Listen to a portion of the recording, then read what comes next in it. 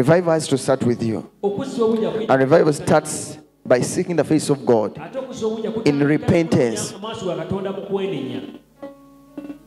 Let me warn you about a revival. When a revival comes, it doesn't look for your preparedness. But revival comes with fire, either to purify or to consume. It's high time as Ugandans. Ke kaseera ng'abannayuganda to purify our hearts, okulongoosa emitima gyaffe to make a highway for God, okula ekkubo ku lwakati because the King of Kings kubanga kabaka w'abakabaka is going to start moving in our lives as never before. tambula mu bulamu bwaffe nga Is going to start moving in our nations as never before.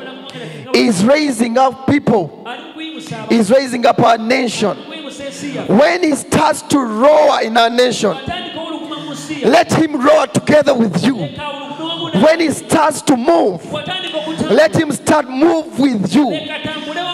Ask God not to leave you behind in what he's doing.